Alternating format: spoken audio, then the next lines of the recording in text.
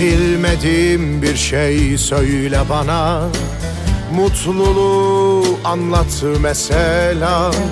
Bilmediğim bir şeyler söyle o çok duydum. Bana hep şeyi soruyorlar işte Avrupa'da çıktığın sahnelerde en heyecanlandığın yerler neresi diye. Tabii ilk başta Amsterdam ve Rotterdam geliyor sonra. The Doodle sahnesi.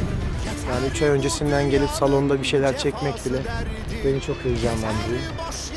Ve böyle bir yerde, böylesi güzel düzene sahip, keyifli bir yerde birlikte şarkı söylemek. Paha biçilemez.